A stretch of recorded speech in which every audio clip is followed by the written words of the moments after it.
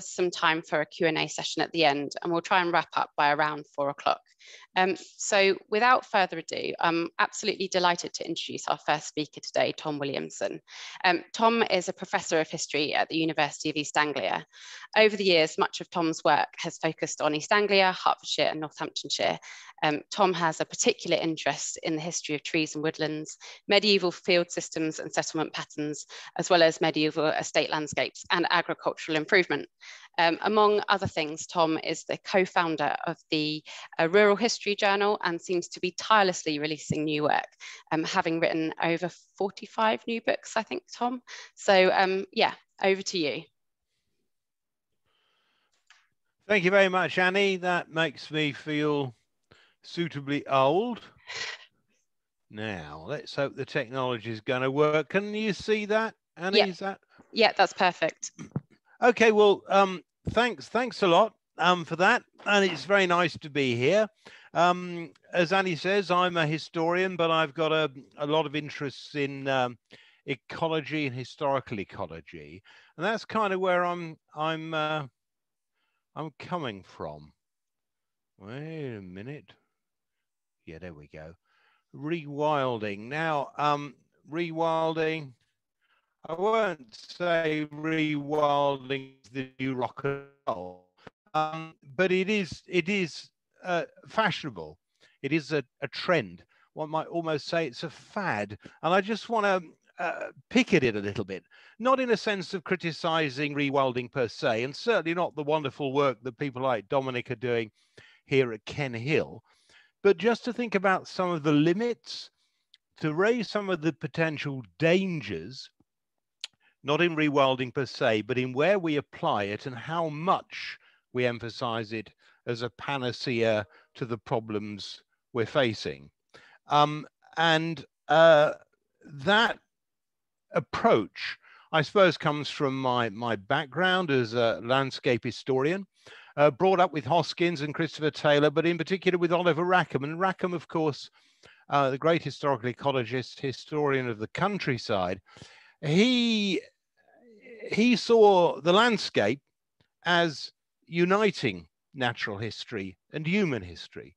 He understood well that what we think of as nature, the, the particular balance of species in England, which we're used to, were the result of the kind of habitats we'd created. So nature, for Rackham, doesn't didn't exist as something separate from humanity, but something which humanity had shaped. And indeed, when we look at something like an ancient hedge, that mix of species is both historically informative and it provides habitat for wildlife, but it names wildlife. The very fact we talk about jack in the hedge, hedgehogs, hedge sparrows, and the rest emphasizes, I think, the extent to which nature over centuries, over millennia, has been molded and shaped by human activity. So it's a rather different approach to rewilding, which emphasizes the removal of human intervention and engagement. So that's kind of where I'm coming from. And, and I just, before I start properly, just want to emphasize this, this more general point that, that we've shaped nature to such an extent that the things we value, the relative importance, the relative rarity of things has been determined essentially by us. We wouldn't we, we would worry about the importance of dandelions if we had shaped a world in which dandelions were rare. Now, for a long time then, with Rackham and, and really with, uh, with others until the rise of rewilding, we looked at nature as something shaped by human activity and particular habitats shaped by economic and agricultural activities. So here we have people making hay very picturesquely, making hay on low-lying grassland, included excluding livestock um, for the main growing season and removing biomass. And the result of those processes was a particular collection of plants. There's nothing natural in the concentration of globe flower and Michaelmas daisy and the rest that you get oxeye daisy, sorry, in, in hay meadows, that's the result of particular ways they've been managed over very long periods. And if we stopped managing them like that, we would rapidly lose that ensemble of species. Similarly with ancient woodland, ancient woodland intensively managed in the past. I mean, completely different than the way we see them now, which is tends to be more neglected, um, managed in the past so that the actual main species were determined by uh, management. For a long time, people used to think that oak was the dominant tree in the natural vegetation because they thought of ancient woods as being surviving fragments of the natural vegetation. But oak is dominant in ancient woods because people encouraged its growth there. It's good for a whole range of constructional uses. Um, and and the as many of you will know the, the the dominant tree in the wild vegetation in lowland england was probably the small leafed lime which is now certainly in norfolk really pretty rare. Small leaf lime wasn't as economically valuable as oak. There's no reason to maintain it. Uh, the coppice too is is is is selected, but the act of coppicing, this the, this management of ancient woods by repeatedly cutting down uh, on a long rotation most of the underwood and letting it regrow, that in itself shaped the flora. Um, here we have wood anemone. Um, the, that particular distinctive flora of woodland is shaped by the recurrent cycles of, of felling, uh, burst of light, gradual recovery of the plants and then shading out again. But it's also critically shaped by the fact that woods were enclosed to keep livestock out. That was critical because the livestock would, would eat the regrowth of the coppice. And most of those indicative woodland species are very sensitive to grazing pressure. And crucially, woodland was one of the few areas in the medieval and indeed post medieval landscape uh, from which animals were routinely excluded. So again, shaped by human activity, and as human activity has, has ceased, um, these have become effectively derelict factories for the production of wood and timber. We could go through others. Heaths uh, managed by grazing of livestock in particular ways. In East Anglia in particular, the livestock often grazed by day but shifted off somewhere else by night so they could dung the arable land. Um, but heaths also critically shaped by fuel extraction. Thomas Blennerhassett in 1610 thought that Horsford Heath, as you can see here, was mainly about the production of fuel. Occasionally they were ploughed, but all that shaped particular kind of particular range of vegetation. And again, once we stop managing them, uh, we have a fight on our hands to stop woodland regeneration, first to birch and then to oak. Mousehold Heath is a great example of this. Huge heath outside uh, Norwich, uh, largely enclosed, but small fragment left in the 19th century. Early illustrations show it as completely treeless, but hold is a corruption of holt, uh, meaning wood. Uh, in, in the 13th century, there are letters from the Bishop of Norwich's land agent, effectively saying, if we don't do something about managing mousehold wood better, it will will lose it. The commoners were basically stripping it of, of, of timber and wood. Uh, but once enclosed, it then regenerated. One, it was no longer being grazed. And it's a moot point. What is the natural vegetation of Mousehold Heath? Is it is it this open, uh, man-made landscape, or is it this rewilded landscape featuring sycamore and, and, and oak? So it, habitats, environments, and wildlife over hundreds of years have been shaped by practical agricultural activities. And those practical agricultural activities have changed over time. And I won't take you through this diagram, but changes in population density, changes in, in the forms of, uh, of, of social organization, economic organization have shifted and changed to some extent the character of those, those habitats. Until we get to the post-war period where technological transformation, um, the final ending of, of using those areas for, for, for fuel, etc., led to the crisis in wildlife, the arabilization of much of eastern England, the, the, the um, development of secondary woodland on, on heaths and the rest, all the problems we're now facing. Now, crisis in wildlife, how do we deal with it? Well, one popular response is we say all that stuff uh, we, is, is over. we those economic activities which shape wildlife have come to an end or changed. Um, we could only perpetuate them as a kind of wildlife gardening solution, and it really won't work. We've got to do something radical. We've got to do rewilding. Now, the problem with discussing rewilding is it means means so many things to different people. At one extreme, there's kind of rewilding heavy, kind of Knepp estate style, or what's being proposed in some of the highland areas of England, where ideally you would have alpha predators and graziers keeping a kind of graze woodland environment open. But it, it's often used just to mean roughing things up a bit. And sometimes it doesn't seem to be much more than what we used to call nature conservation. But this kind of uh, rewilding heavy, this return to grazed woodland, uh, grazed by herbivores, kept in check by um, alpha predators like wolves, um, that is based on a certain view of the original pre-farming vegetation, which we associate with Frans Vera. Vera believed that we didn't have wall-to-wall woodland in this country. We had more open environments kept open by graziers. And that's the kind of model most people are trying to reconstruct. Well, just flag up that that isn't fact. This is contested. Um, there is much debate continuing about whether about precisely what the nature of the early landscape was. Um, and, and, indeed, that plus things like the disappearance effectively of small-leaf lime should highlight and make us aware just how far we are away from it, from, from Eden. We can't easily recreate it. And one particular reason why we can't really recreate it is the extent of introductions. That our ecology is now full of things which were not there before farming began. We remember the obvious ones, grey squirrel, muntjac deer, horrible looking, but tastes good.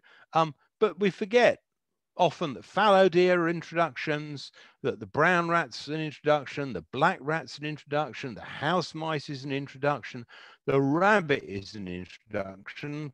Indeed, rabbit was an introduction which was originally effectively a domesticate, kept in specially built mounds, and provided with their own little purpose-built burrows. It's only as they gradually escaped and went, went native that we began to think of them as something essentially wild.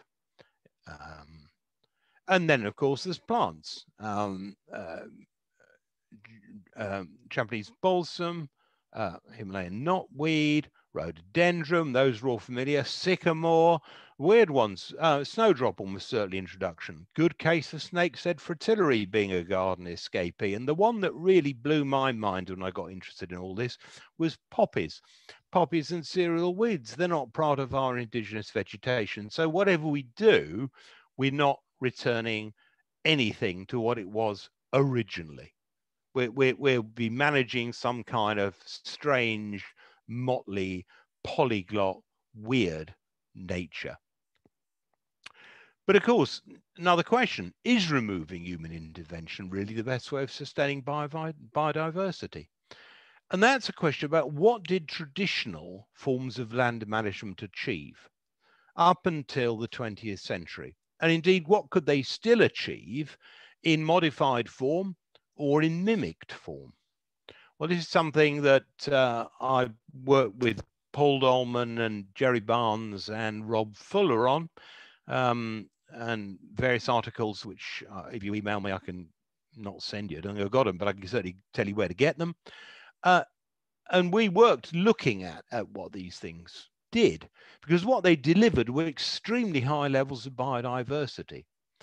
A lot of traditional practices involve high levels of resource exploitation and extraction, involving repeated cycles of harvesting, causing frequent disturbance and dynamic vegetation change, rather than long-term stability. You coppice, it regrows. You lay a hedge, it regrows. You lay it again, it regrows.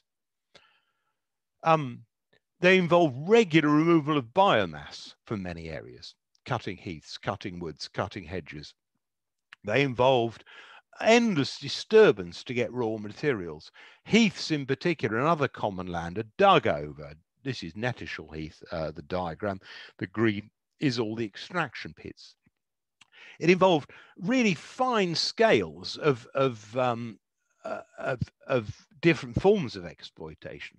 It, open field strips, for example, separated by narrow margins of unplowed ground, carrying um, uh, a grassland, herb-rich grassland, which then re-invaded during the, the fallow seasons.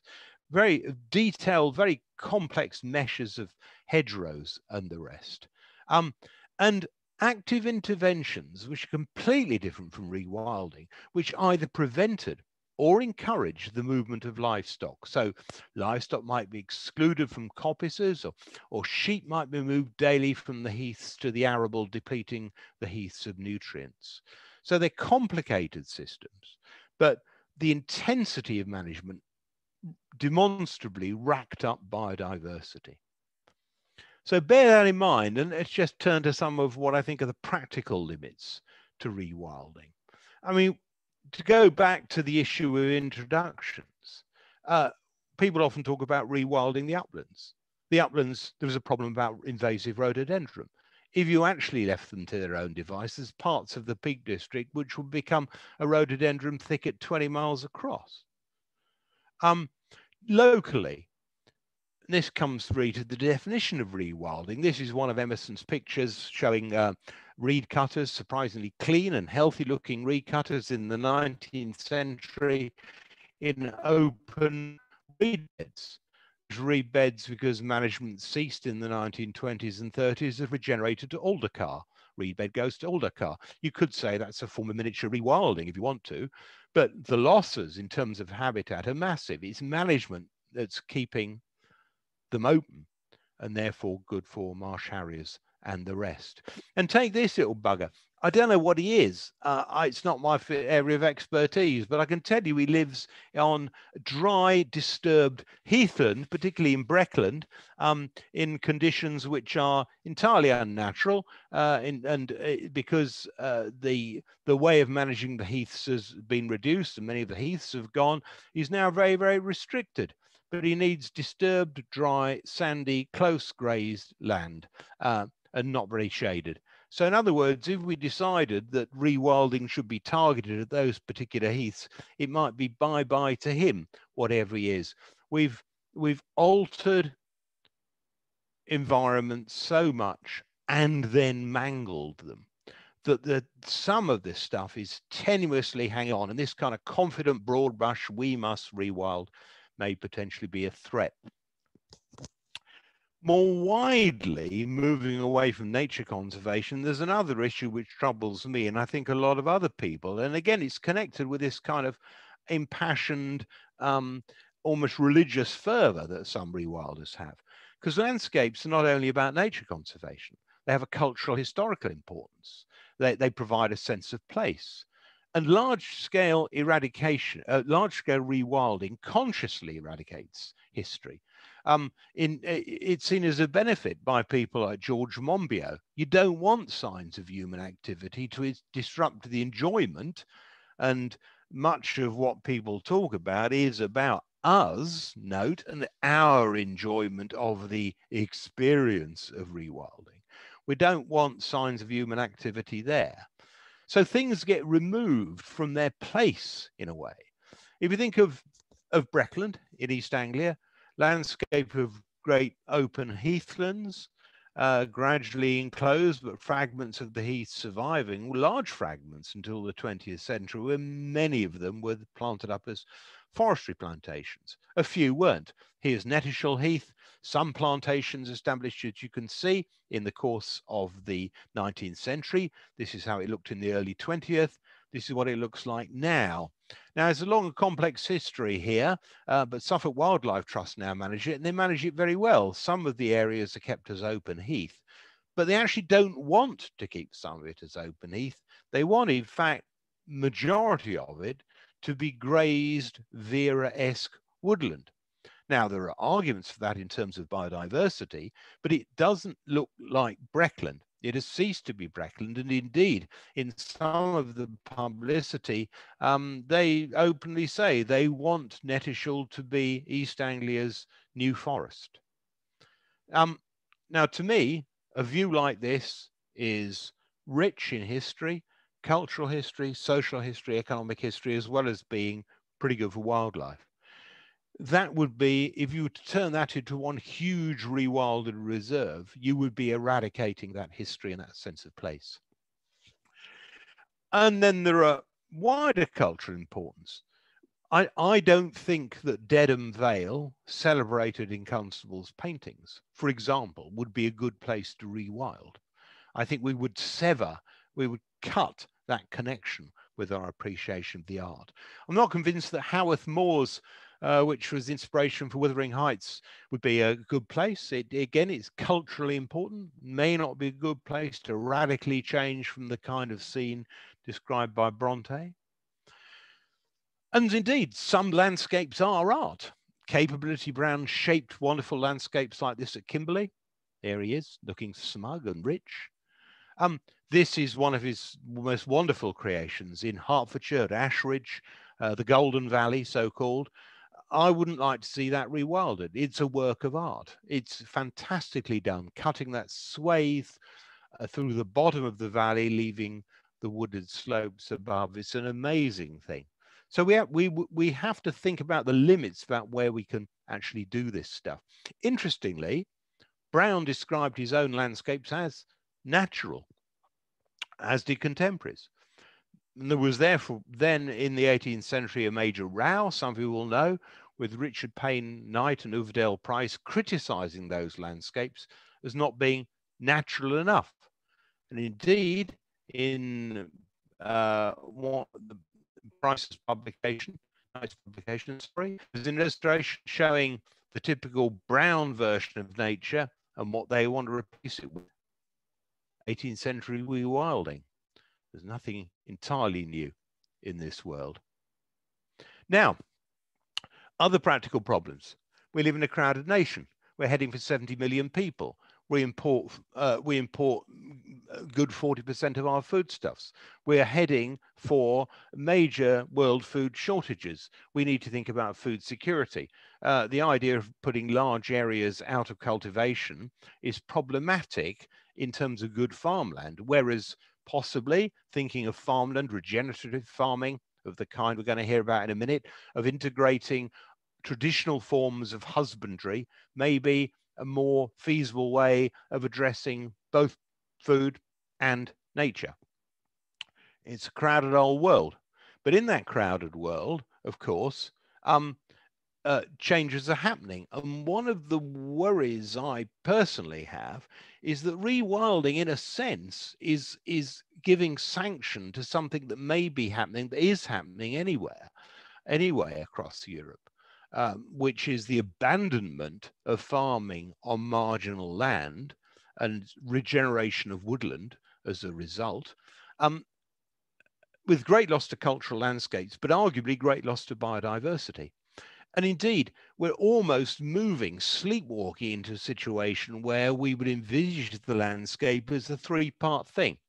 Mega cities, we're looking at some of them here, intensively farmed land, where nature conservation is of less importance, and wilderness. Wilderness, rewilded areas on the peripheries. But the trouble with that is that, uh, well, actually, before we come to that, it's happening in a sense in England. And I just want to show these maps, although it's not much to do with what I'm talking about, but it's another of the great myths. England is losing trees and woodland, is losing trees and woodland except he isn't losing trees and woodland because of small scale rewilding regeneration on land no proper no longer managed along traditional lines that's the distribution of woodland in the density of woodland in uh, 1895 and that's the density now to go back to what i was saying if we think of moving towards a megacity agricultural area rewilded area Rewilding is physically separate, it's marginal, it's distant. And it's okay for Guardian reading people in Hampstead to go and have glamping holidays at it, but it doesn't help the poor, the old, and the disabled to encounter nature. You do that on the urban fringe. in the countryside, in the park. So too much emphasis on rewilding has a kind of, to me, slightly elitist view. So I will support rewilding strongly in the right locations, but they have to be thought about hard. Until that happens, I will fight to preserve all those man-made landscapes which have inspired artists, which preserve history, and which are a home for wildlife, whether chalk downland or moors or heaths or wetlands or woodland or whatever they are. So rewilding certainly has its place in future conservation policy. If, if I sound like a big critical of it, it's I think critical of the way it's it's sort of unchallenged and not interrogated enough as a concept. And I think we need to be a lot clearer about what we mean when we use the term, whether we're talking about, you know, big scale stuff or whether we're talking about roughing up a bit. It, it, it, there's a vagueness about it. But it needs to be one approach amongst others and maintaining, restoring or mimicking traditional forms of intensive land management are also key. And that seems to me a way of integrating conservation and food production we, we need to be careful where we rewild. And we need not, we mustn't concentrate on rewilding so much that we take our eye off the other balls in play. Rewilding isn't a panacea. Rewilding is a word.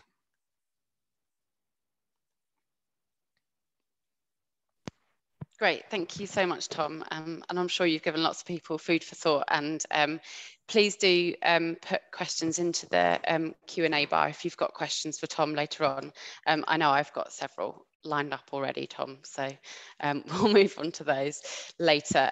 so our next speaker for today is Jake Fiennes. Uh, Jake is the Director of Conservation at the Holkham Estate in North Norfolk. Uh, the Holkham Estate covers about 25,000 acres and includes a nature reserve, which is visited by almost a million people a year. Jake has a wealth of knowledge with over 30 years of uh, experience of managing landscapes, having worked at Knepp Castle in West Sussex to working as an estate manager at the Raveningham Estate in Norfolk before his move to Holkham in 2018. So Jake, without further ado, over to you.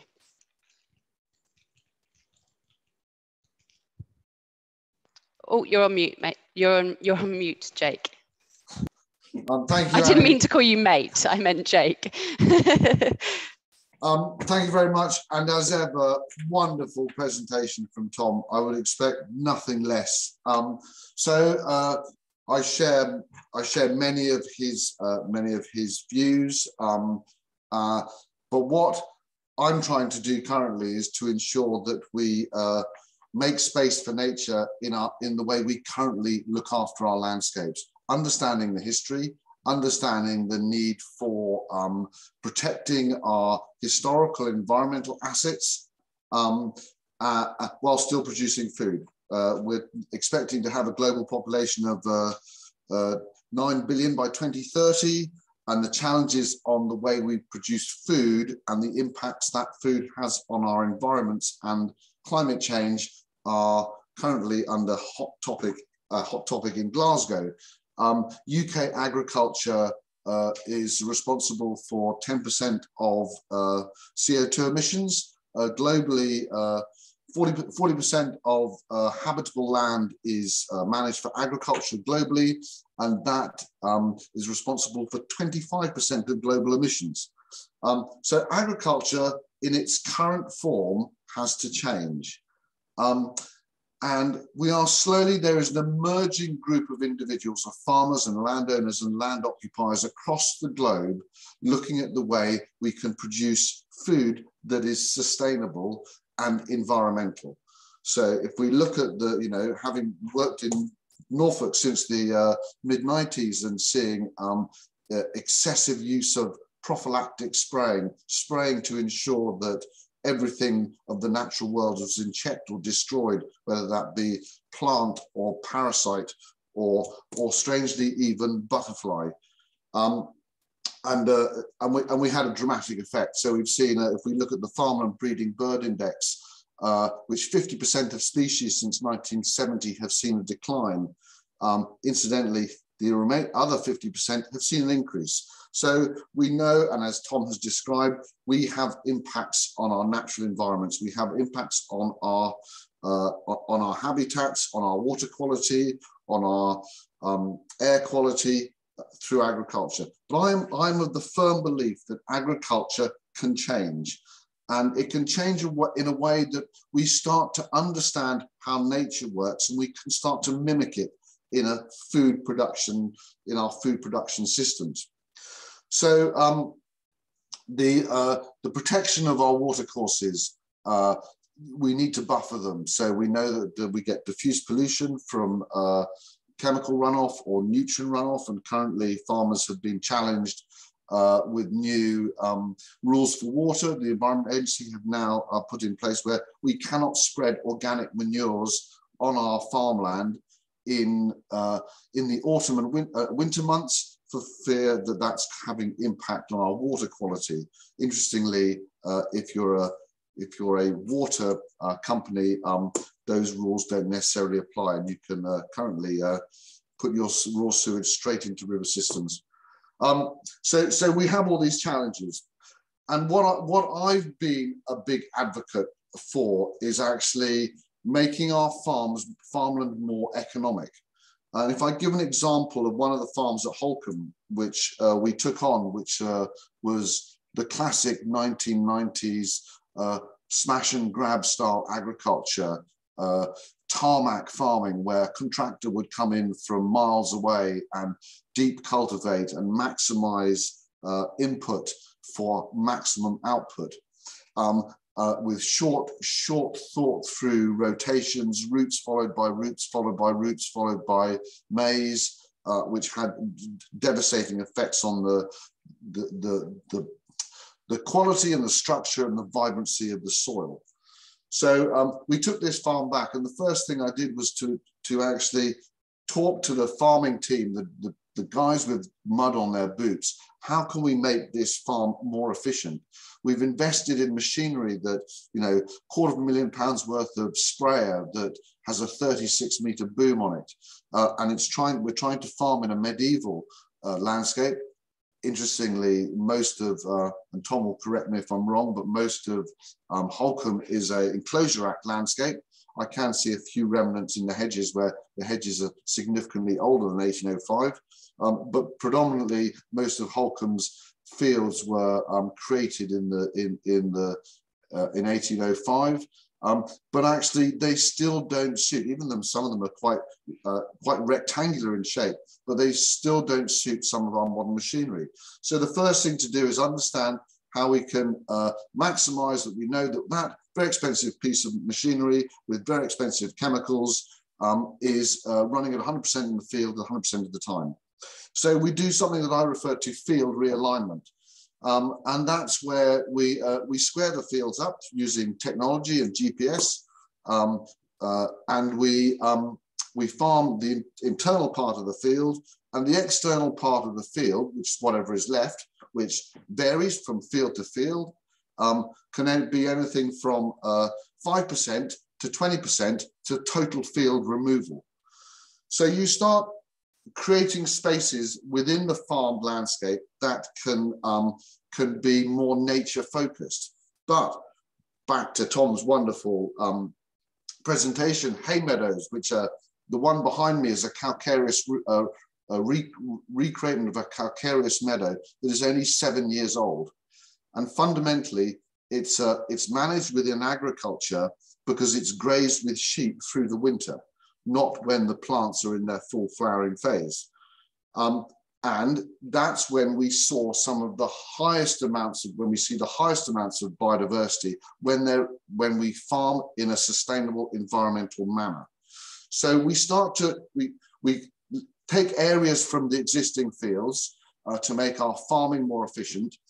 And we we, we create what we think suits that landscape. The landscape has to speak to us, understanding what its need. If I'm in heavy Beccles series clay in South Norfolk, I'm not going to try to cultivate land for night flowering catchfly, weasel snout, poppies, uh, and mayweed uh, I'm actually probably going to put it down to permanent pasture or, or herb-rich leys.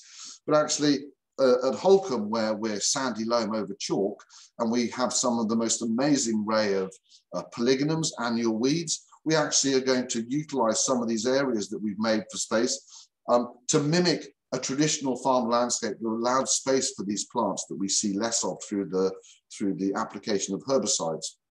Um, initially to that, we need to understand the benefits of our hedgerows. There is, there is much hedgerows uh, in the UK as there are roads.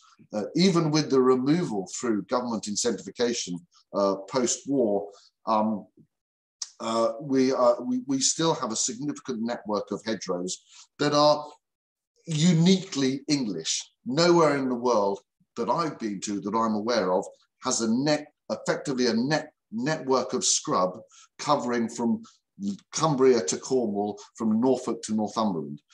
And we need to, we recognize the importance of these habitats um, and everything that they, they provide.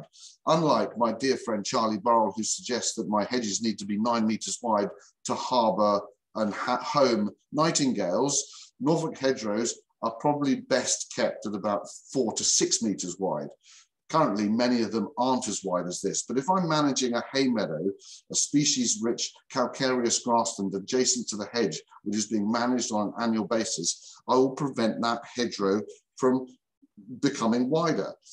But I don't necessarily need to cut that hedgerow, but I, and I can cut that uh, and I can evaluate the way I manage my hedge on a hedge by hedge, species by species basis. So I start so I so I hope I'm giving you an indication of what the, the landscape starts to look like. It starts to, we have a network of hedges that are managed in a series of ways. We have farmland that is uh, becoming more efficient by making space uh, for more environmentally focused farming systems like hay meadows or light cultivations. Um, then within the internal part of the field where we need to produce this food, we start to look at um, ways we can reduce some of the more uh, damaging effects to our environment. And the biggest uh, contributor to climate change from a farming perspective is artificial fertilizer. Um, and the wonderful Gabe Brown, who wrote a book called Dirt to Soil, uh, suggests that there are 32 tons of free nitrogen above every acre of land, uh, land in the world. And actually, we know through science and through um, the organic farming uh, sector that actually, if we use legume crops, they can uh, capture nutrients. They can capture the atmospheric nutrients, but they can also capture um, nutrients we might apply through farmyard manure or even capture the artificial nutrients that haven't been taken up by the previous crop. Addition to this, any farmer will tell you that actually when a when a grass ley has been in the ground for two to three years and that is then um, that is then removed for a cereal crop or a root crop, the quality of the soil improves dramatically. It's more it's more pliable, it's full of worms, it's full of a range of fungi and um, fungi and nematodes, and it becomes more complex over time. And actually, it produces very good cash crops, sugar beet, rape, wheat, beans, whatever you wish to, wish to call them. Um, so we start what we what we are learning through this new uh, new system of agriculture, which is sometimes referred to as regenerative. Personally, I prefer to use the term restorative, actually we can start to mimic the natural world to our benefit.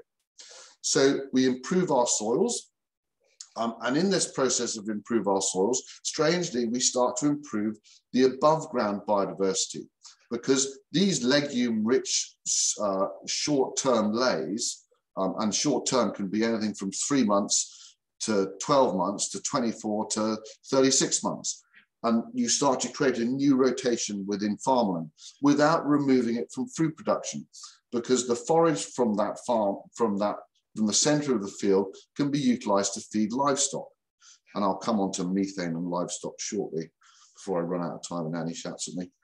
Um, So we, uh, so we can also improve above ground biodiversity because all of these legume rich plants provide pollen and pollen provides food for pollinators, uh, uh, you know, the easiest one are butterflies, but also bumblebees and hoverflies.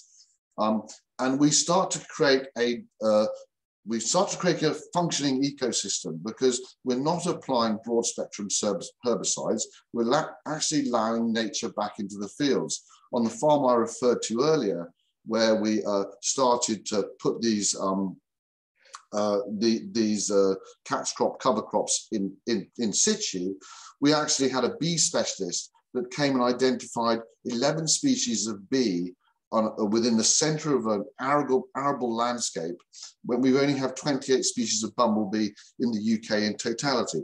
And of course, some of them I'd never expect to find in Norfolk anyway. But it's amazing how quickly nature can recover and high nature, not nature that is exclusive to one habitat, but nature that historically we know benefited from the farming practices. Um, so, uh, so the arable landscape starts to become a mosaic. One thing that we have lost in the landscape, excuse me, is uh, is scrub. Um, uh, and scrub, which is the which is a, a, key component to rewilding. And the reason we left, we removed this scrub was through um, the Common Agricultural Policy, which didn't recognize scrub because farmers were only paid for piece of land that were in good agricultural condition.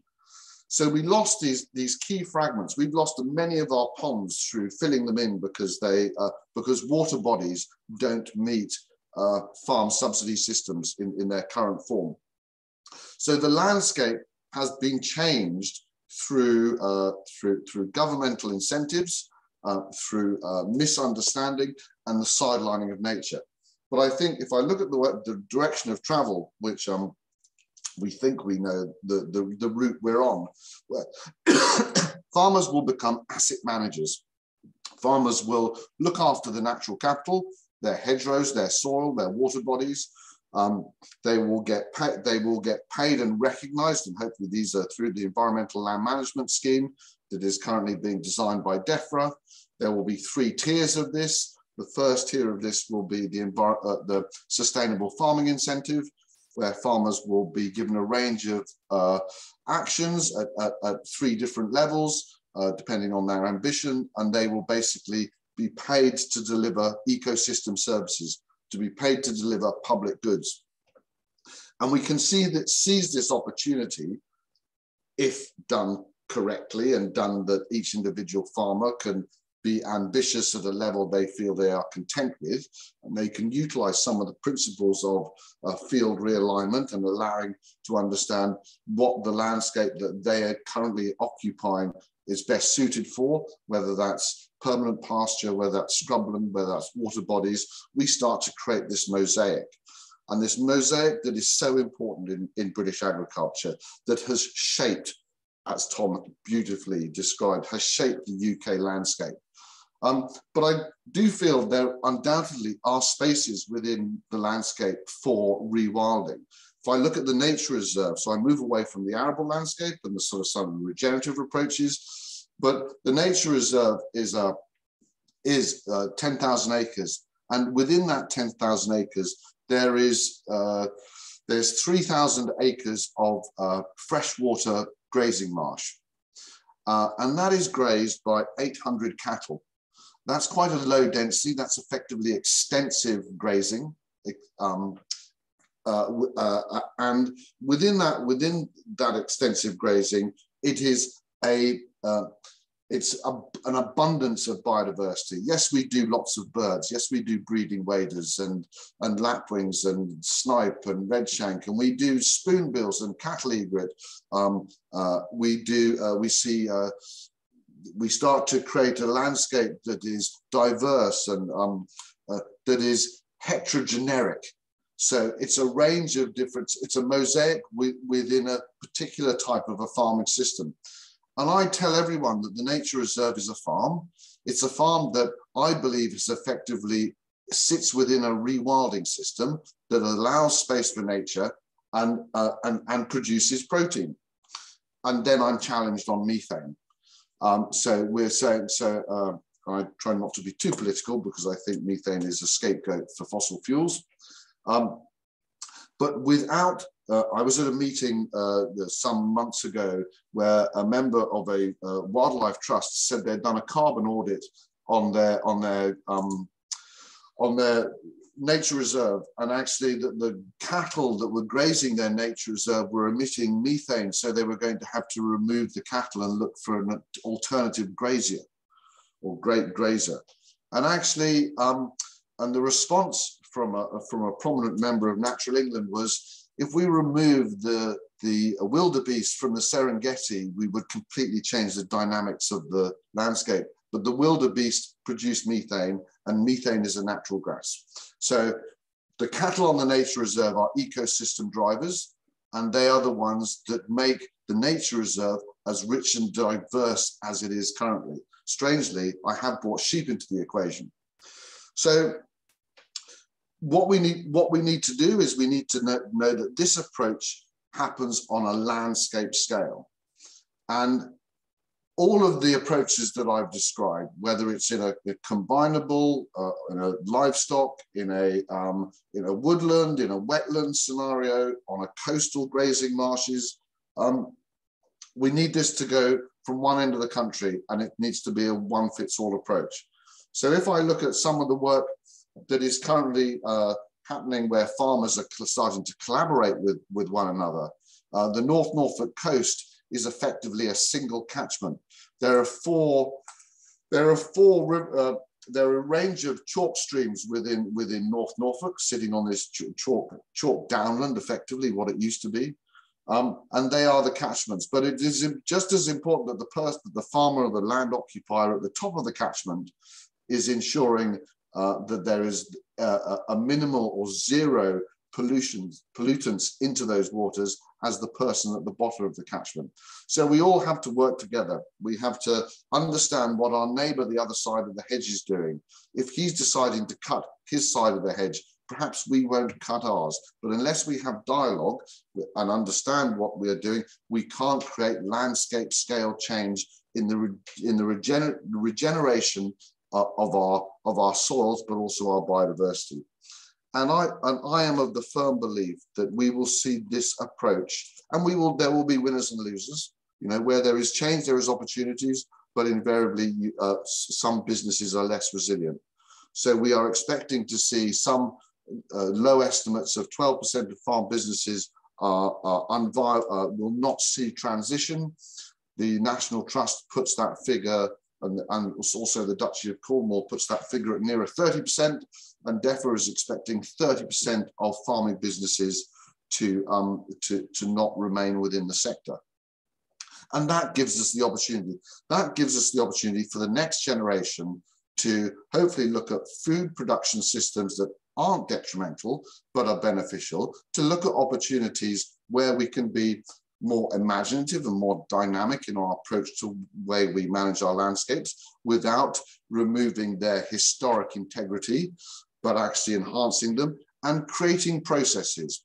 The key to all farming and the key to all nature is a, a, a range of processes that happen at different lengths of times. So whether it is the hay meadow that is an annual uh, management, the grazing, the seasonal summer grazing, an annual, but the coppicing or laying of a hedge that might be 5, 10, 15, 20 years, depending on species, all the species, alder carr coppiced within, uh, coppiced at 25 to 30 years rotation. Uh, the creation of scrapes, where you then allow a process to develop. There's a wonderful example at Holkham where someone created a scrape for a, uh, for a, um, for avocets, which were currently in a very, very low population. That scrape now is, is produced some of the highest densities of natterjack toads in the country. And in due course, that will become full of reed and club rush and will become ideal nesting for marsh harriers. So we need to start these processes and let them develop. All of the ponds that the Norfolk Ponds projects do across Norfolk, looking to do uh, in excess of 100 this autumn, actually kickstarts processes that start again. Yeah, and some people are challenged what they're doing because as the original marl pit was dug, dug and then has become a pond and then has come scrubbed up and dried out, actually some would say that's a process do we need to start? And these are some of the challenges of uh, and the dialogues between what is right and what is wrong. There is no right and there is no wrong. But what there is, is understanding where we need to allow and make space for nature in all that we do.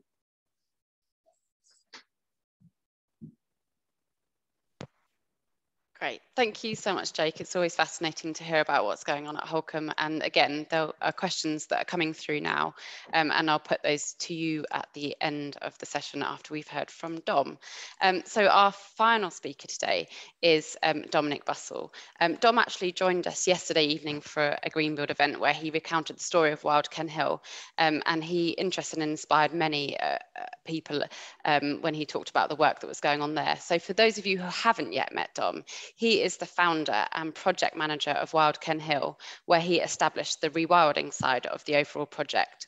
Um, Dom also leads on external uh, engagements and collaborations with other organisations and is keen to explore the benefits of the approach that's been taken at Wild Ken Hill. So without further ado, over to you, Dom. Thank you very much, Annie, for the kind introduction. Um, and really, thank you again to everyone for, for coming to, to, to, to attend the event today. Um, I'm extremely flattered and humbled to be um, talking alongside two genuine and real experts in their field who um, have made both inc incredibly um, compelling and fascinating talks. So, you know, thank you for having me alongside um, those two guys. I think what I what I what I will try to do today, and I I, I presented last night for the Greenbuild event, which I think has been great, um, about the story, you know, of our project. Um, I know there'll be people here today who who, who weren't uh, weren't there yet, so I'm going to recount a bit of that.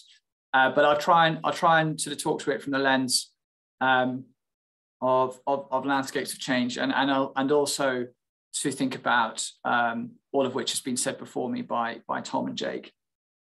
Um, let me just quickly get my my screen my screen.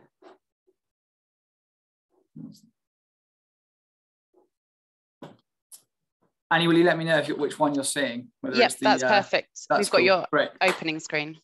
Perfect. Um, I, I do want you, I'm afraid I don't quite have as many slides as Tom, but uh, as someone who used to work in consulting, I find it much, much easier to communicate with them. So I've got, I've got a few which I'll, which I'll walk you through. Um, I think the, the first thing uh, is just to remind you, so this is, this is where we are at Ken Hill. Um, the, this is where the, the Wild Ken Hill project, I suppose, takes place. Um, we, we began this project for many of the reasons that have been mentioned before, um, because we do recognize that there are huge challenges uh, environmentally, um, you know, the interconnected challenge of, of, of, mitigating and reversing climate change and that, and that of our biodiversity decline, uh, but also that of continuing to produce food uh, for, a, for a, a, growing global population, one whose diet is, is rapidly changing.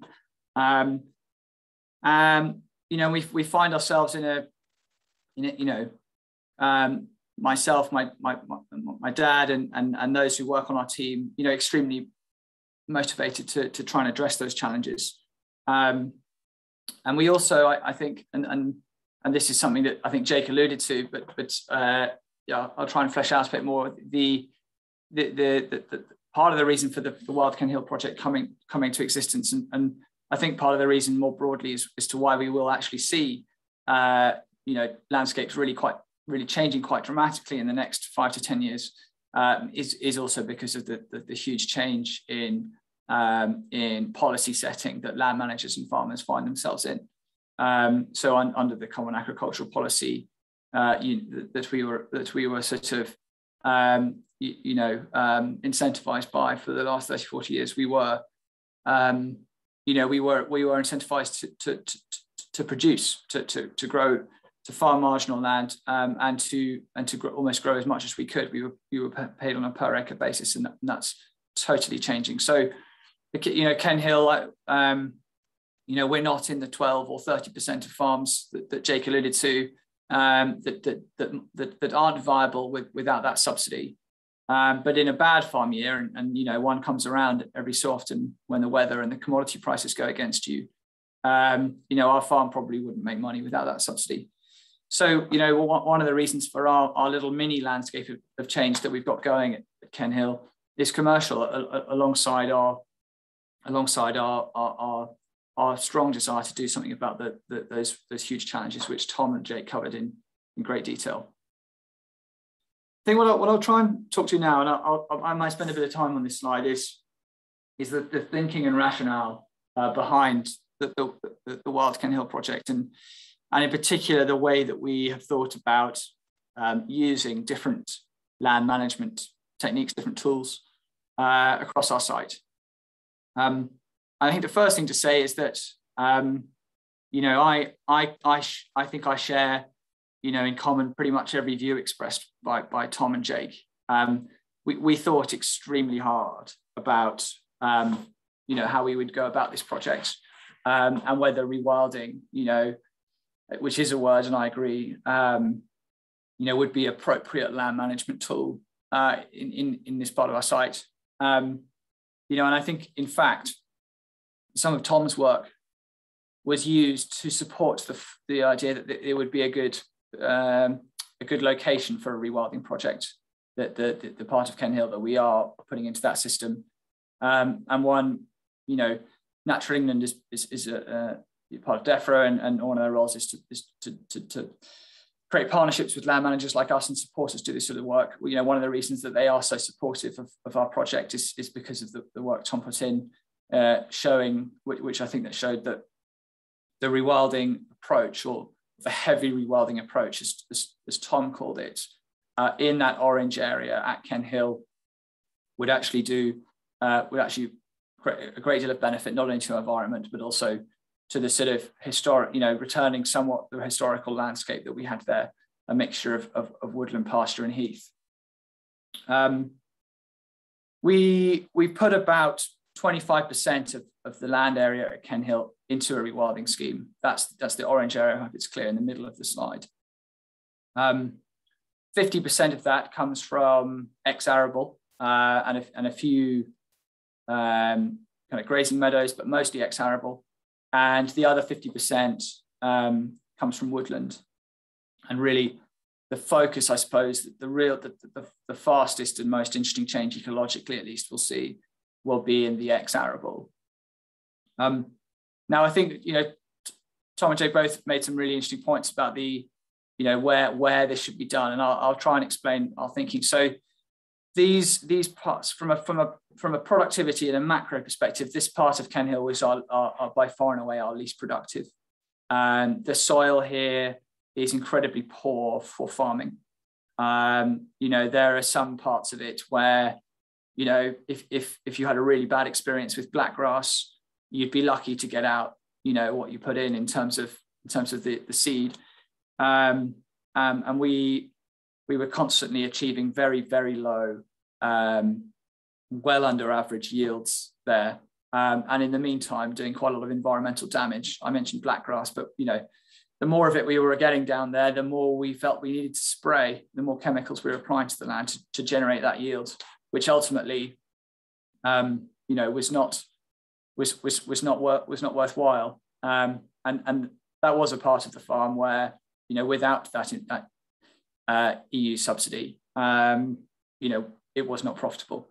Uh, and I mean, and that for me is a pretty clear, you know, market market market indicator that that's probably not what you should be doing with that piece of land.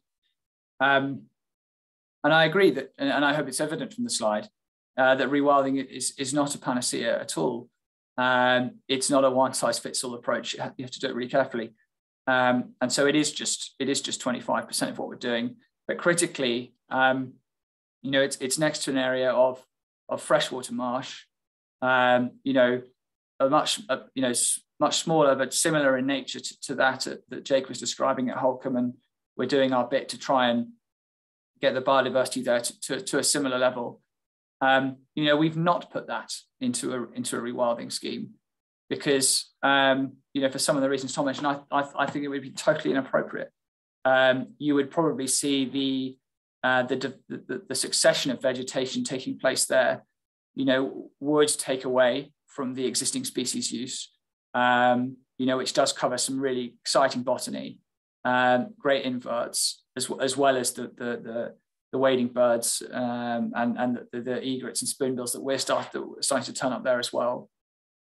I think that would have all gone backwards. We would have lost a lot of that under a rewilding approach. We would have seen succession of probably bramble and hedgerow species and scrub, uh, influx of predators, uh, and we would have we would have lost our sward. It would have been crowded out, lost our pasture to that scrub, and I, and I think it, I think it would, would have been inappropriate. So we there we we follow a a traditional conservation approach, um, and I I don't mean traditional in the, in the way that Tom meant it. I mean it really referring to the last 50 years, where you know nature reserves across the country followed a um, a very active management approach, spending lots of time, money, money and effort managing reserves for, for very specific outcomes.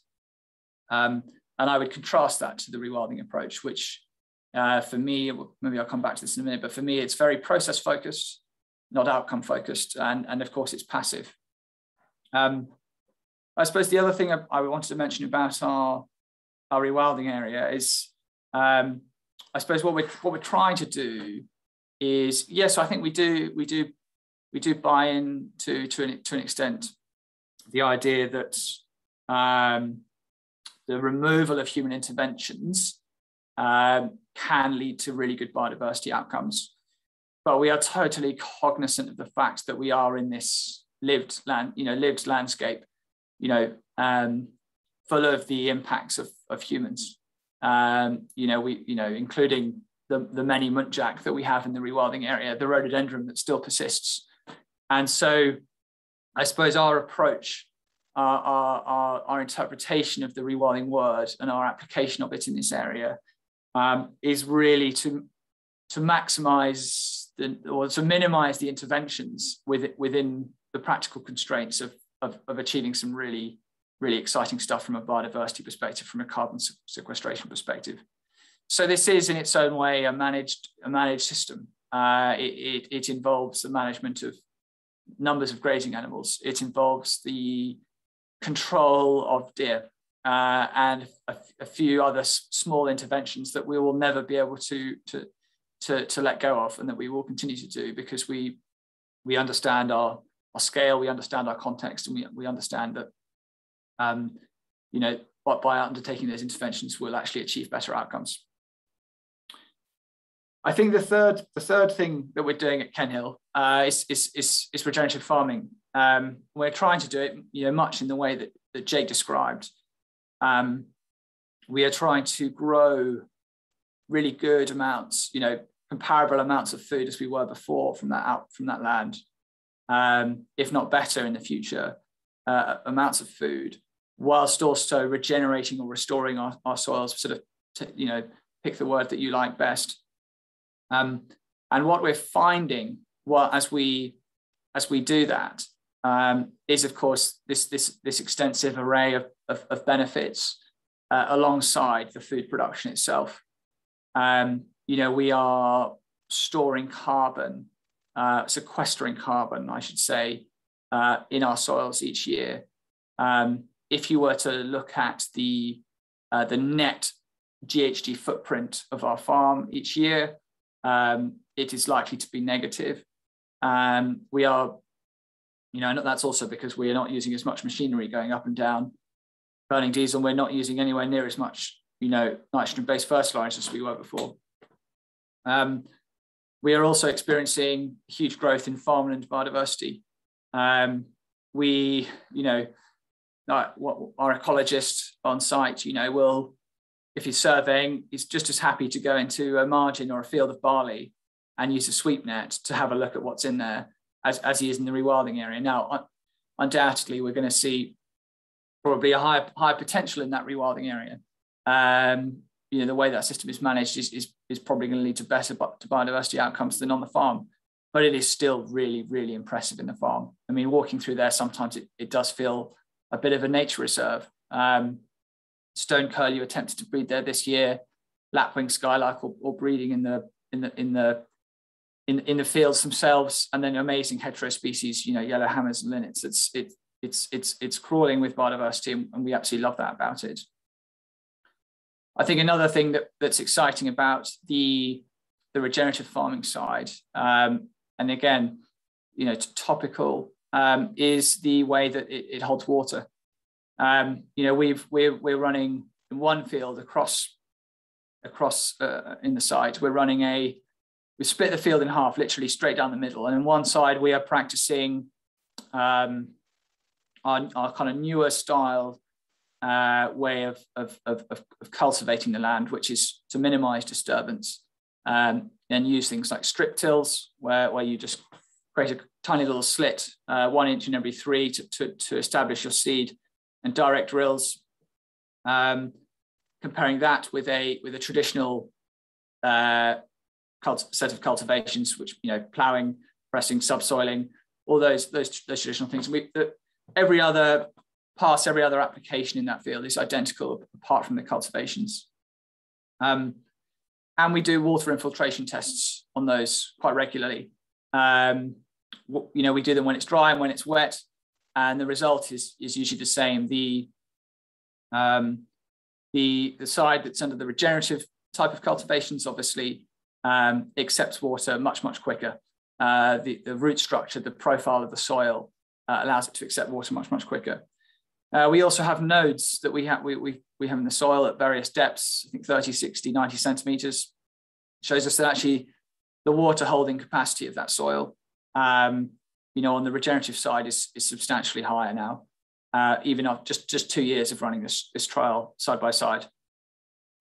I mean, and that's important for a number of reasons. Firstly, because um, we, we're, we're going we're gonna be experiencing much less runoff into our watercourses. Um, and yes, there's, you know, a huge problem from, uh, well, I, I mean, loosely speaking, I think, you know, about 40% from agriculture, 60% from homes is, is, is the, the, the, breakdown of nutrients that we find in our in our watercourses. So yes, we, we've got a real problem with with with homes and sewage, but also agriculture as a, as a part to play. Um, and we, we like to think that this style of farming is is massively reducing the amount that comes off Ken Hill and ends up in the amount of nutrients in watercourses. Um, and the fourth thing, which I, in a way might be the most important of all, uh, it, when, when we look back at this, um, is that we are finding this, this, style of farming to be more profitable. Um, as I said, our yields, we're three years in, um, you know, we might have seen a bit of a drop off versus where we were before. Um, I would say that's because we're, we're, doing, we're doing something quite quickly in, in, a, in a degenerated soil. Um, but those yields, they're still very comparable with our neighbors. Um, and we think as we restore our soils, they're, they're, they're likely to go up. Um, we have experienced a much, much faster decrease in our in our variable costs. We don't spend anything really on, we've applied no insecticide, no fungicide, and barely any herbicide this year. Uh, we've cut our fertilizer applications by half already in three years, and we, we think we'll cut the other half in the next three years. Um, and in the first year alone, on our fixed costs, we saved, you know, 80k on by not ploughing and, and, and actually performing other types of, of, of establishing our, our crops. So um, it's more profitable. It's more profitable for farmers to farm this way, in uh, this regenerative way, um, on, on average soils like ours. We think it's much more profitable. And that could actually, I think, make the difference as we see as we see farmers and land managers across the country go, oh, you know, oh, oh my, my subsidies are really starting to fall away now, as they have um, for the first time last this year. Um, you know, how am I going to think about um, my business, my enterprise? Um, can I look at changing things? And one of the things we're, we're trying hard to do at Ken Hill is to show that this actually is, is a really viable alternative and, and that it's a, it's a win-win for both nature um, and for you as, as a land manager. I suppose um, that's the that's that's taking a look at each of the, the three parts of our approach. And what I like to think is um, you know, it's it's it's it's relatively crude. You know, we've we've we've we've put a rewilding area in our poorest soils. We're farming our best soils, um, and we haven't rewilded an area where you know that would have actually gone backwards from a biodiversity perspective, and we still we still practice that traditional conservation. So it is it is you know it is quite straightforward. We're thinking really about two dimensions: how good is your soil, and what's the existing species use. Um, but actually, by using that quite quite quite quite basic approach, um, we, we, we've come up with something where we're practicing all three things side by side, and we think we're really one of the only places in the country doing that. Um, and we're delivering a mix of outcomes uh, and, and, and, goods, which we think um, is the right one for this day and age that, that, we need. There is, you know, very good amounts of, of, of healthy, nutritious food being produced here. There is also lots of carbon being stored. There is also a restoration of our native biodiversity. Um, there are lots, of, you know, permissive paths and areas for people to access green space. Um, about three or 400 acres is, is, is of permissive access. Um, and all the benefits that's going to provide in terms of mental well-being and reduce costs to the NHS.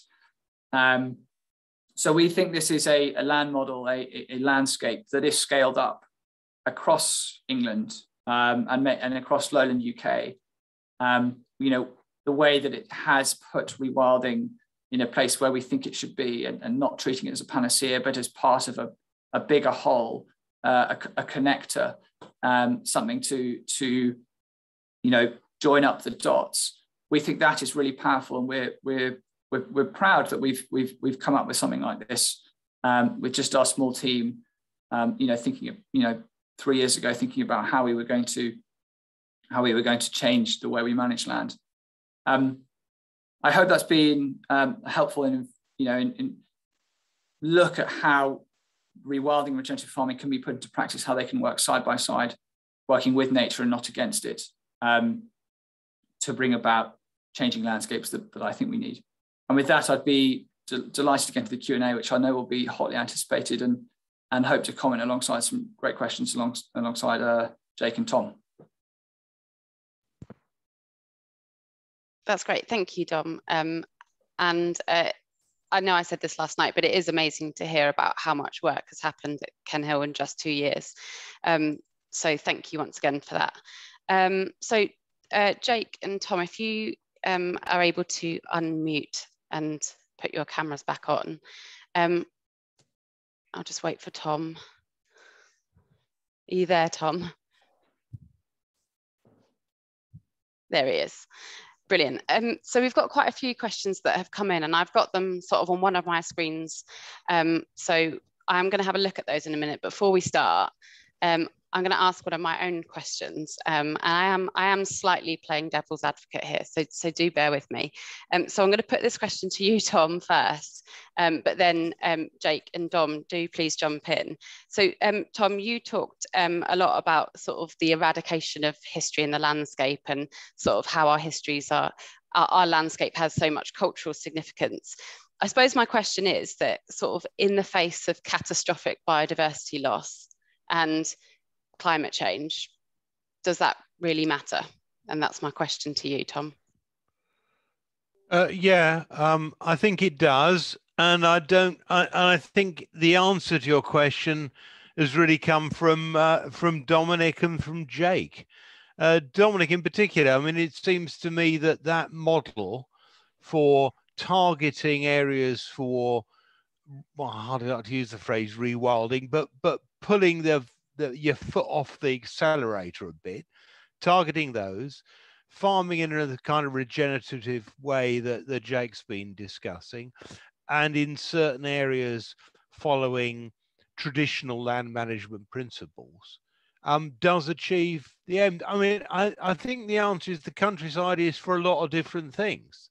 And we don't have a lot of countryside. And we got to think hard how we make different bits work for it. And I think that kind of, of, of solution at Ken Hill uh, is, is, is great. And, and I think to roll that one out does meet all the targets. It, it, it shouldn't be an and or. My objection to isn't to rewilding per se. It's to the kind of obsessive rewilding which is pushed by some people as if all other aspects of landscape land management don't matter. So I, I don't think there's a I don't think there is a, a in a sense I'm not answering your question because I don't need to because there are ways of dealing of, with managing land so you get all the benefits. I don't know whether the other two agree with that. I guess Dominic and Jake probably would. I think it's a I, I think it's a right tree, right place, right beaver, right river. That's as simple as that. That's very um, concise. I, I, I don't have much to add. I, I I'm I'm totally in unison. I think it's all about it's all about where you're doing these things and not. We, we never wanted it to be a, a the rewilding approach to be a, a panacea. Uh, it, it, I've, and I've, I've always used that word actually prior to today. That is as one I, I really wanted to avoid. Um, I, I didn't get too much into our, you know, into how we do it. Um, I, I think we're we're on the this of the Tom spectrum. We're on the kind of rewilding heavy side. Um, but I, but I, you know, I'm, I'm, I'm in chorus with, with the other guys. Thank you. Okay, so um, we've got a question that's come in. Um, it's it's it's specifically for you, Jake, but I think that Dom and Tom will probably have a view on this as well. Um, so it, the question is: So, do you think that the environmental land management schemes that replace the common agricultural policy will incentivise better management of today's landscapes. So Jake, I'll give that to you first and then we'll go to Dom and to Tom or however you want to, to go about that. So, uh, so, the, so we have a, we had a referendum uh, we decided the the population by a very small majority decided to remove themselves from the largest um, the largest marketplace adjacent to it. Uh, and uh, we, when we left that, we left the, we also removed ourselves from the Common Agricultural policy, uh, policy which supported farmers for occupying land. Um, uh, we then had a paper called the Health and Harmony paper, which was a, uh, a discussion with stakeholders, mainly farmers, landowners, ENGOs, etc., on how we were going to fund farmers. Um, and Gavin Ross, who uh, is uh, works for DEFRA, sort of coordinated this, and he was uh, paying farmers to deliver services, which is great. Um, the issue we have currently is we have something called, we have another government department called the Treasury. And UK uh, English farmers receive 1.7 billion in farm support. And there's an indication that they might reduce the level of that support um, with the environmental land management schemes.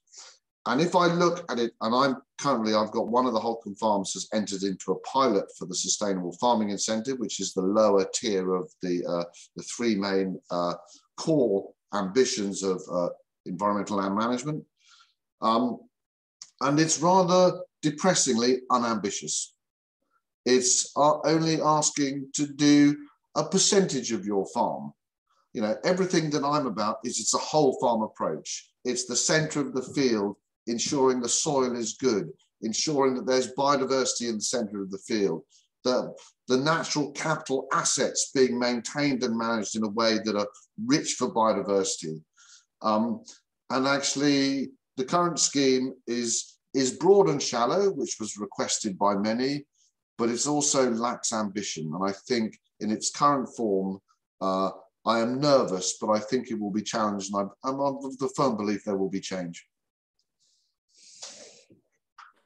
I mean, I, I, I, I sort of see, um, I see the, the, the, the part of Elm that Jake mentioned, SFI, the bottom tier, that the the bit that's for most farmers, uh, you know, as as quite unambitious too.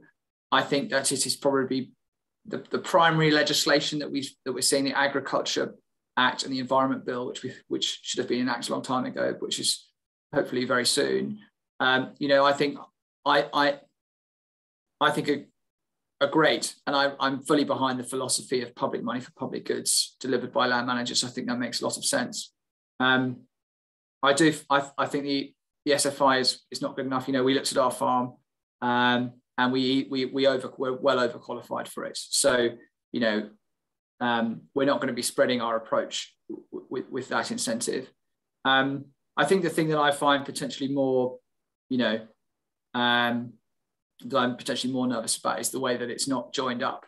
It doesn't seem to be joined up with other parts of government policy, in particular our foreign policy um, because it's sort of, you know, I'm not the first farmer to say this, but it, it just doesn't make sense to, um, on the one hand, try to um, improve our environmental standards of food production whilst also uh, exposing us to competition with with with markets um, under free trade agreements where those standards are lower. Um, because I, I, suspect we'll just end up seeing it's probably small but but important increases to the amount of food we import, and in turn will be you know exporting some of those negative externalities, so that we're not actually doing any good outside of outside of or globally we're not we're not doing any good. So that's that's sort of where I, I you know I really welcomed the the, the headline the headlines of the two main pieces of legislation, um, and I and I've I've been sad to see that I that I I think what's happened is it's it's some of it's been eroded behind closed doors, um, and I, I really hope that between now and when Elm is live in 2024, um, that we get it we can get it back on track and joined up with with other government departments. Thanks, Dom. And Tom, have you got anything on that uh, that you want to add at all? Well, the main thing I was going to say was what Dominic just said. I think the, the the the problem is, I mean, I I don't trust this government as far as I could spit, um, and I think it's the level of the inability to do joined up thinking, and I think the that that the the the point Dominic raised about uh, doing deals which effectively threaten the profitability of environmentally friendly farming in this country is is a major issue. The only other thing I would say was that although the um, elms, you know, there's a lot a lot of good stuff you know, a lot to recommend. It, uh, obviously, from my particular point of view, I feel the agenda on land management is is is good on biodiversity issues, but isn't particularly interested or sufficiently interested in kind of cultural historical value. Uh, I think uh, that's the fault of, of of us. I mean, it just seems to me that that the people in in uh, uh, natural history, natural sciences, conservation have got their act together much much better than people in my line of work, and they're more influential. But the main point, I was going to agree with Dominic. Yeah. Great. Thank you.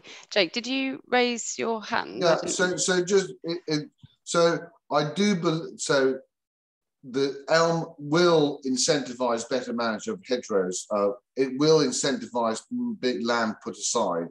Um, and it will do all this, possibly not at a level that uh, uh, is sufficient. And DEFRA will announce, we're now thinking it's more December rather than January, there will be a new payment rates will come out. Um, but actually, the future is blended finance. The future is uh, is government uh, and uh, and private finance working together.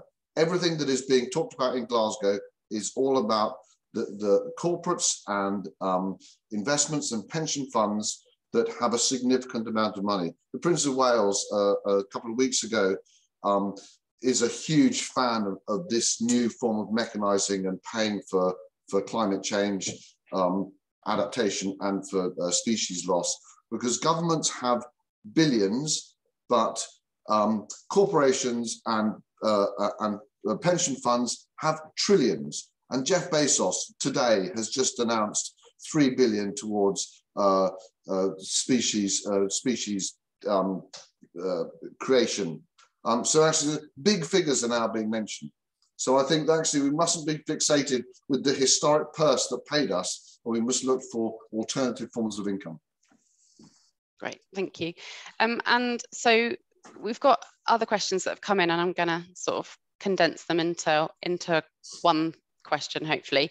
Um, and um, Tom, I'm going to ask you first, but then again, um, Jake and Dom, please please do um, do chip in. Um, so we've got couple of questions. So, so one of them is about sort of the reintroduction of, of beavers in the Norfolk landscape and sort of what your views are on that. But I, I suppose in that as well, it'd be interesting to know kind of what your views are on the reintroduction of apex predators. Um, obviously, it's been it's been done in Europe with some success. Um, so why is that not appropriate for for this landscape? Um, so yeah, there's a couple of things there, but I think you get my drift. Yeah, I do. I, I, I, on the first one, the beaver, I'm really not the right person to, to talk to. I mean, it's been so long gone that um, it, uh, my, my feeling is that it's if there are demonstrable benefits for introducing it, those have to be balanced against impacts on on other aspects of the environment and on the practicality of farming. Uh, and so I've got no strong views on that one. In terms of alpha predators, well, I do have quite strong views on this. Um, partly because there's a, a, a, fairly long tradition in historical writing for suggesting that um, the whole business of the wolf, for example, being a threat to humanity has all been exaggerated and overdone. Uh, and we published in, you mentioned our journal Rural History, we published a good paper a few years back about the wolf in northern Italy in the 16th and 17th century, which has some wonderful, well documented cases of wolves coming into churches and massacring large chunks of the population. My own view on reintroducing the wolf is it will be fine until the first, first baby disappears. Um, and I don't do not think that if it does happen, it's going to happen in Norfolk. I really, really can't see that at all. Uh, possibly in Scotland or somewhere, but I, I'm, I'm, I'm very, very doubtful, and and I, I think in a sense it may be missing the point. Um, again, it, it, it, we have to think about the landscape as a place where people live and have lived. It has to have human uh, interaction built into it.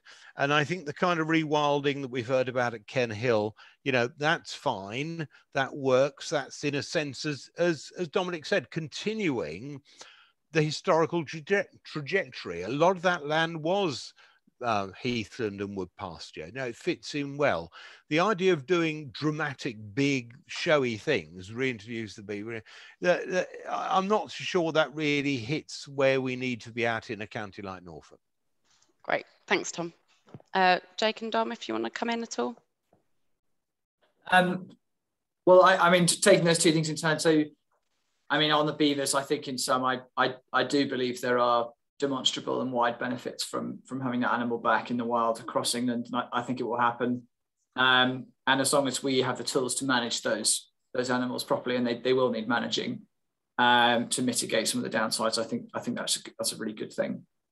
Um, I think the discussion around apex predators, in particular wolves, um, bear, and lynx, it I think it is missing the point. To be, I, I think except for a for, for a, a, quite a marginal fringe, um, there aren't actually that many people proposing this stuff, especially in in Norfolk and Lowland England.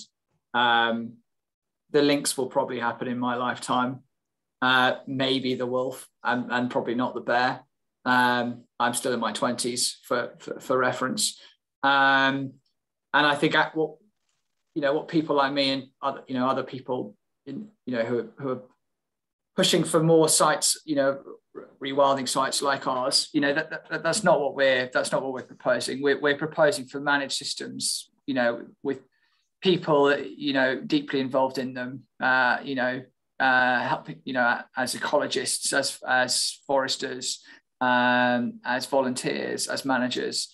Um, and uh, I, I think, you know, someone said this much more eloquently than me recently, but it, it those those sorts of, you know, debates actually really detract from our message. They make us look quite, you know, we get tarred with that brush and we look we look silly and vociferous. Um, and I, I I try to avoid, um, you know, those sorts of conversations essentially. Great, thanks. And Jake, I don't know if you've got anything else to add to that at all. Oh, I've always got something to add, Annie. um, so, so predation is a natural thing. We mustn't. We there's been an obsession with uh, humanity that uh, it only allows itself to be the apex predator and not others, so that we can harvest for ourselves.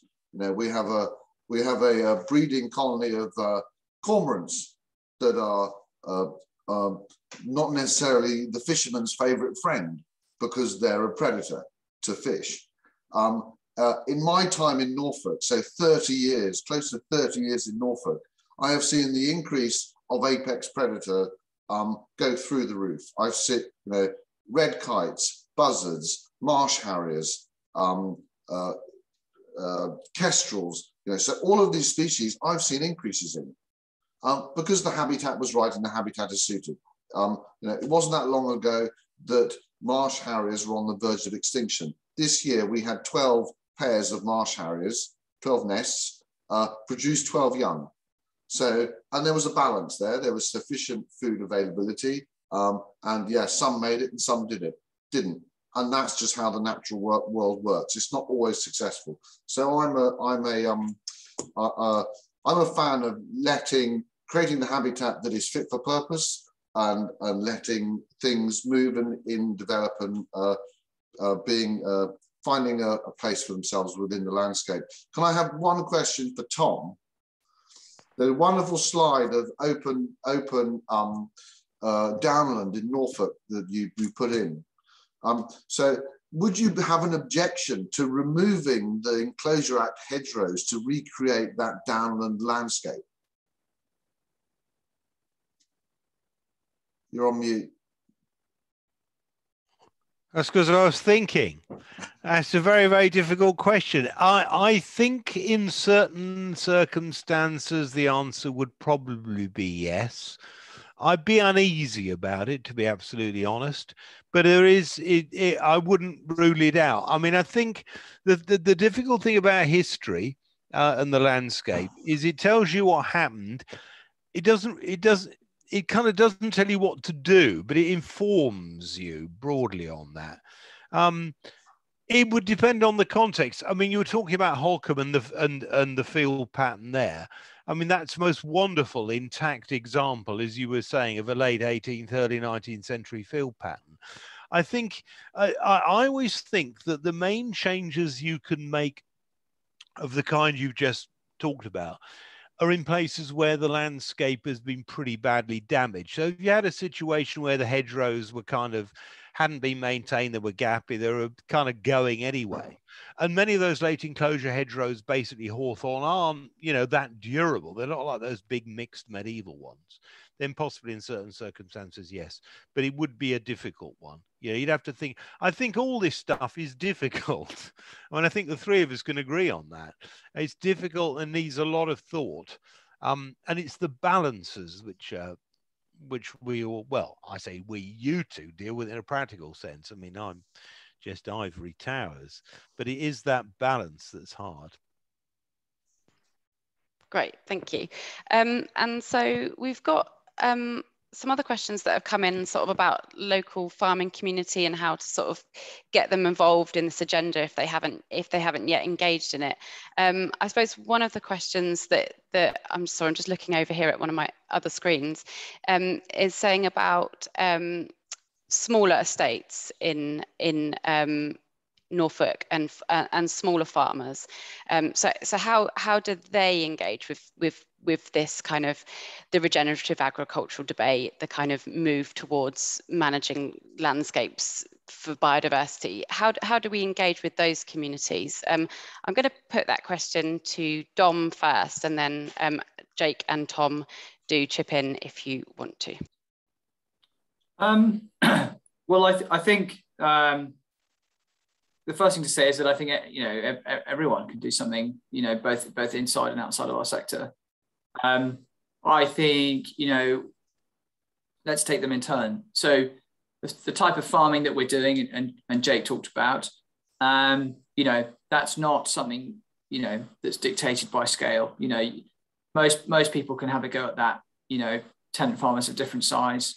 Um, you know, large estates. You know, like Holkham. Um, that's you know that that that's the barriers to entry to that aren't that high. In fact, they're lower than conventional systems because you need less equipment. Um, I think you know the rewilding. I think there's a case to say that um, you know that is probably harder to access. Um, but I, I, think you know at least the type that we're doing, um, you know, ultimately it, it, works best at scale. And as I said, it, it's it's not going to be appropriate in many places, and it shouldn't be done in many places. I think what I would add is that, um, of course, as a word, um, it has really, you know, touched a lot of people. Um, I think, you know, Isabella Tree's book about Knepp has, last time I checked, it sold well over 200,000 copies. Um, it's entered a lot of people's hinterland.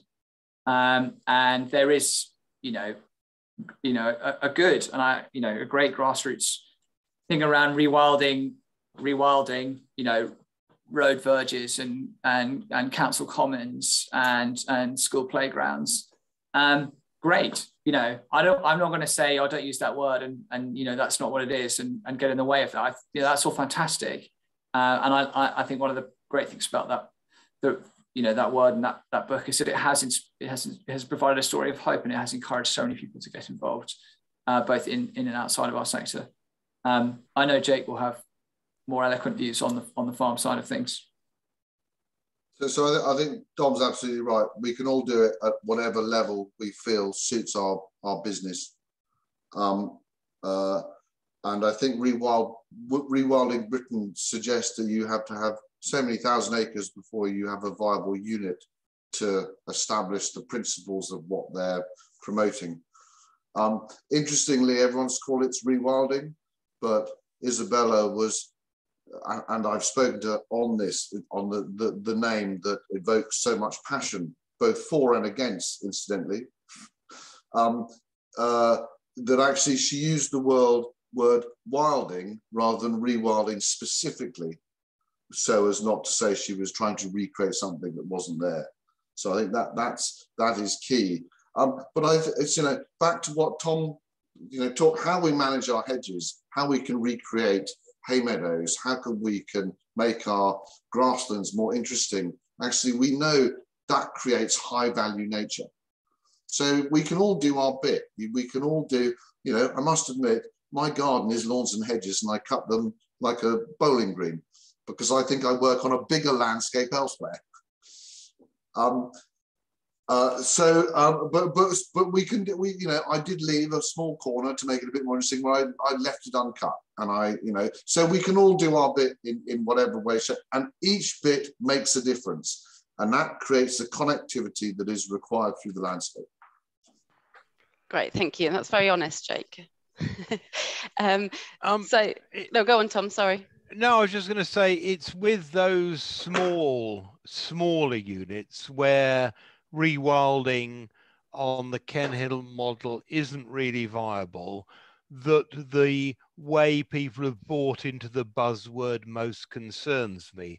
And I'll, I'll give you an example, an anecdote. I won't mention anybody or anybody's name, but I went to a couple of years back, wonderful farm in mid Norfolk, uh, hedges intact, lovely meadows managed, a couple of areas of ancient woodland, uh, some of it being coppiced.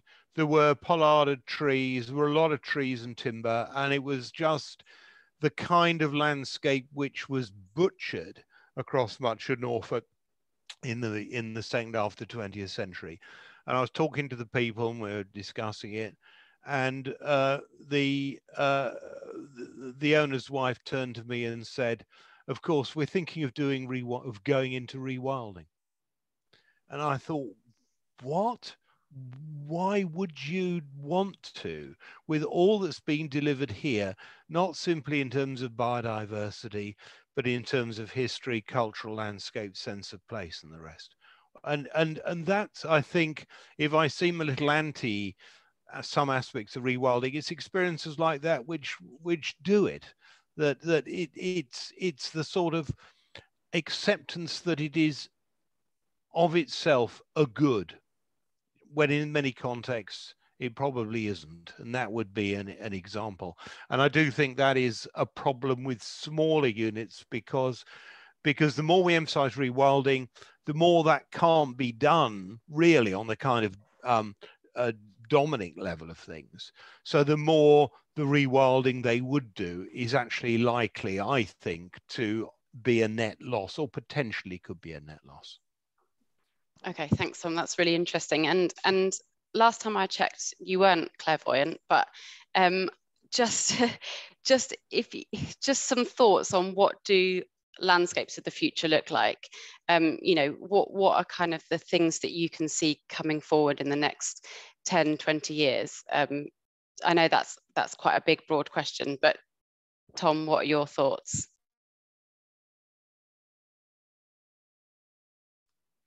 It's this stage, Annie. I always say historians study the past with the worst people to ask about the future by definition.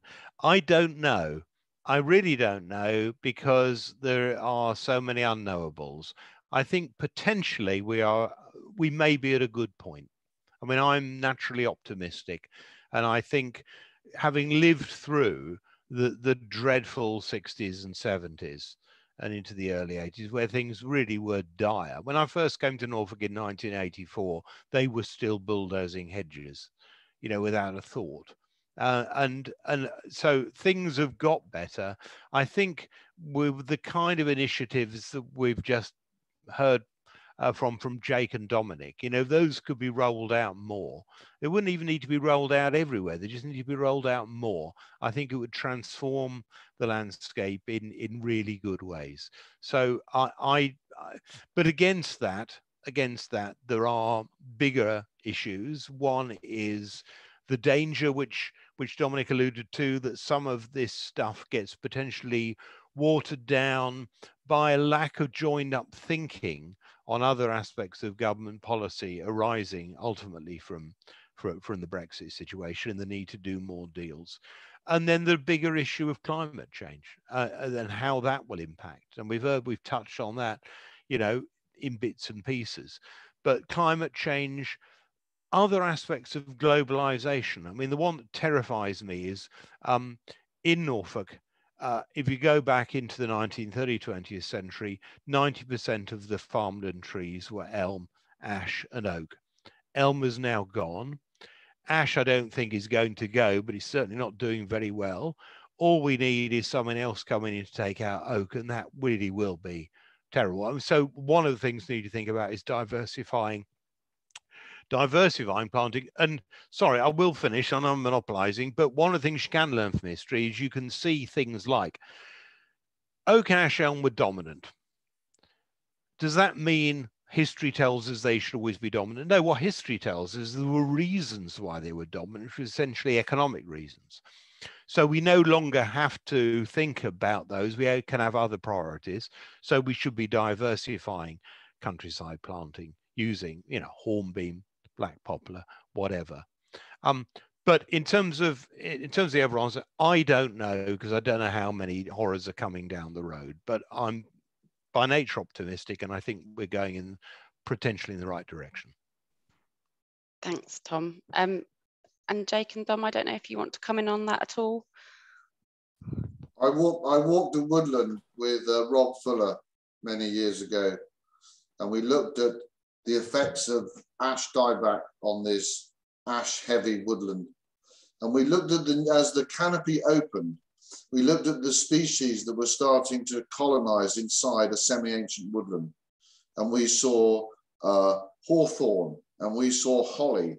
So, you know, we start to, we're already seeing our landscapes change through climate change and through pests and diseases that are having impacts on some of our acute oak decline is actually, I've seen a 150 year old oak tree die in 12 months. You know, normally it was 300 years to live and 300 years to die. It doesn't seem to happen like that anymore. So it, it, it is of concern. I do think we need to think um, think ahead in what we're doing and why we're doing and what impacts that will have. Um, so, uh, and but there are, you know, I sit with Tom on. I'm positive. I think we can uh, we can make it more diverse, more dynamic, uh, and we can uh, make it more resilient. Thanks, Jake. I also uh, I also have a actually have a history degree, so I, am gonna I'm gonna pass on that one. Uh, but I I mean I I the I think the unknowables things is is is really relevant. You know, I, it's something we experience. You know, 90% of what we get up to in our in our rewilding area, the interventions that we do make are controlling rhododendron and controlling muntjac and Chinese water deer um, and squirrels, grey squirrels. I mean, that's that you know that's and you know these things are coming in these these non-native species at something like 50 per year, and I, I know most of them are sort of plants and inverts, but you know there, there's so much that can go wrong. Um, and I'm I'm sure that we'll I'm, I'm not sure, but I although I'm I am also in the optimistic camp, I, I, I bet we'll have something with Oaks. You know, I, I just I just you know that's that seems to be the direction of travel, um, and that's one reason to be really careful about the way we the way that we're planting in the future, um, and, and where we're sourcing our our saplings from. But more, you know, more more regenerated landscapes, more more more farming with nature, and more areas set aside for um, different types of managing for conservation. In, you know, you know, dynamic, vibrant, rural, uh, you know, circular economies. I mean, that, that would be my that would be my dream. Oliver Rackham's great uh, great quote: "The best way to create a woodland is to do nothing, and then we'll see what's right for the landscape." Thanks, Jake. Um, and so I think that we've probably wrapped up most of the questions that have come through today. Um, and oh, I've just been handed something here, um, which says, um, this is a quick question, probably for more for Dom and Jake, um, which is, um, what can, what, uh, who can farmers turn to if they want to go get advice on this sort of thing? And um, what would your, um, what would you suggest?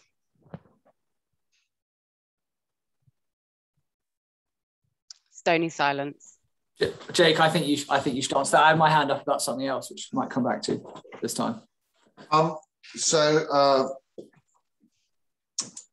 uh, that's so. I. I'm. So that's a real problem currently because actually the conventional farmers are being challenged with something that they don't know. I had I had a meeting uh, a year ago with a farmer who is exceptionally good at producing food, and actually he does look after his biodiversity and his natural capital relatively well, but he knows he has to go further. And his question to a member of Natural England that was there was I've spent 40 years killing everything, and I don't know how, I need the advice and the, the skills and expertise to how to make it better. So those are the challenges. More recently, uh, uh, I uh, spoke to BASIS, um, and BASIS uh, gives all of the advice to farm agronomists. Um, and I uh, have requested that they put in a module for environmental advice because farm agronomists are trusted by farmers. If I send someone who's beard toting, sandal wearing, caftan wearing onto a farm, actually the average age of a British farmer, which is 59, they're not going to entertain him quite frankly.